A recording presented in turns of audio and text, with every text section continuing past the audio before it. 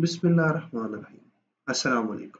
Dear learners, this video is going to introduce the aim and scope of the course of instrumentation and measurements. You can follow the videos in the playlist for complete course or you may jump to a specific topic. As far as this video is concerned, it is going to explain prerequisites of learning instrumentation and measurements, the extent to which I'll cover the contents, and the motivation behind understanding the need of instrumentation and measurement systems. So without further ado, let us dive into the world of instrumentation and measurements. So what comes to your mind when you hear the word instrumentation? Instrumentation means the use of instruments. Now you must be wondering what instruments are. Well, that depends on the field you are in. For a doctor, instruments are different than a musician, and for engineers, instruments are totally different. For engineers, instruments can be anything that helps us measure something. For example, a simple ruler is an instrument because we can measure length using it. Or a voltmeter is an instrument that allows us to measure voltage in some part of the electric circuit.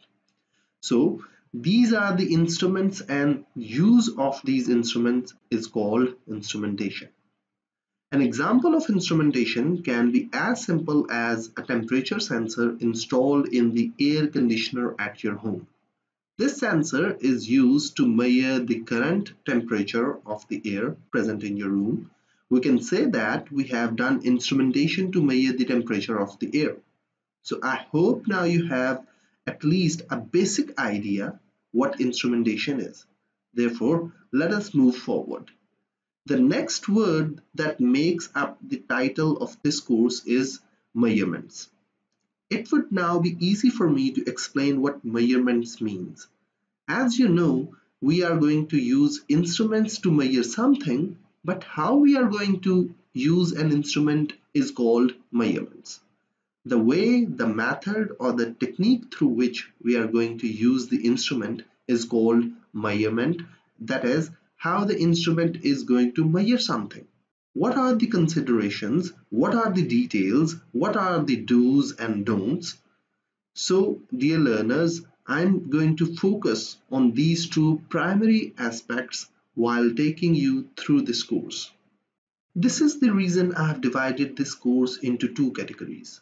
In the first one, we are going to understand what are the principles of measurements, how we should take measurements, what things we should consider while taking measurements, how we can increase the accuracy and precision and reliability of the measurements, how we can process the measured data to make it useful. And these are some basic questions that I'll be focusing on in this part of the course. However, the second category will focus on the instruments. I'll try to cover a range of instruments, how they are constructed, why they are constructed, where these instruments are used, why these are used, what is the state of the art and what characteristics do it has. We will try to cover instruments ranging from temperature sensors to flow sensors, gyroscopes to encoders, rain sensors to moisture sensors and many more.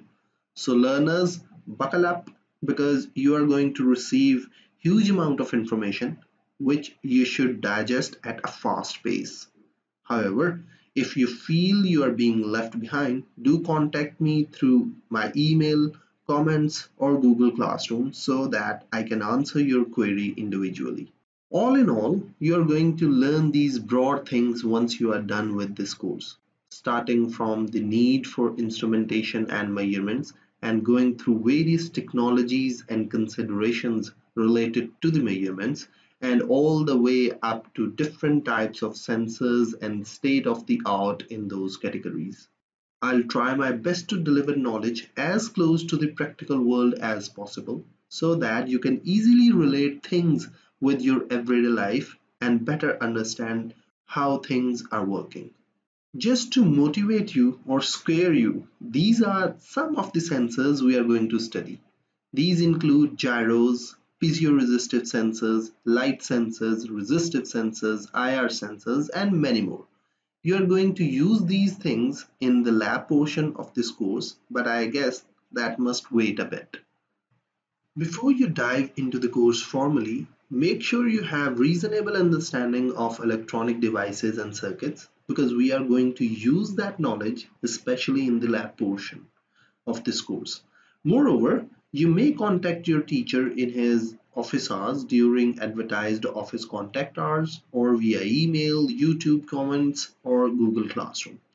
I'm going to use two textbooks for most of the information. However, several online resources will also be used. I'll share references of resources other than these books at the end of the corresponding topics.